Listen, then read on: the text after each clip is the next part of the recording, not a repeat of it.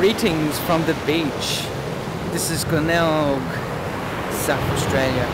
It isn't the most popular beach in Australia, that's Bondi, which I've also gone to.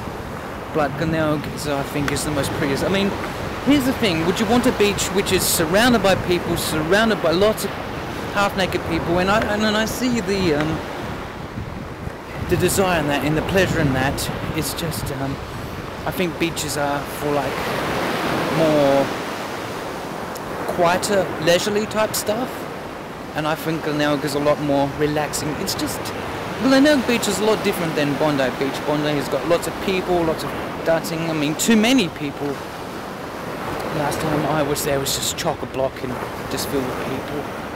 Um, so I think Glenelg uh, is a lot colder, quieter, but a lot more introspective where you can sit down, walk the beach as I'm doing and think about life.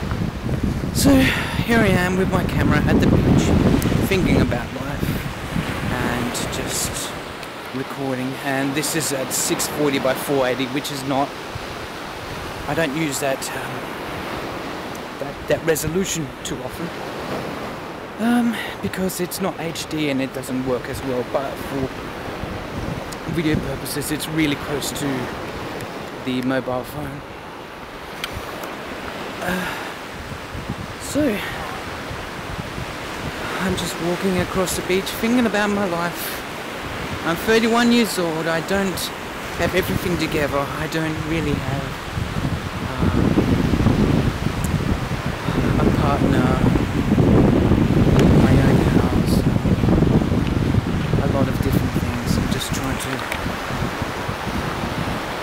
walk the distance, see if anything comes up. It's it's about 6:30 p.m. Um, it's a quite nice evening there. I mean, look at that. Come around to see that. Look at that. Absolutely gorgeous, isn't it? That's what a dramatic shot. That's something out of Silent Hill or something. Anyway, as I'm walking, talking. Yeah. Yeah, to be honest, sometimes I do feel like I'm less than I am.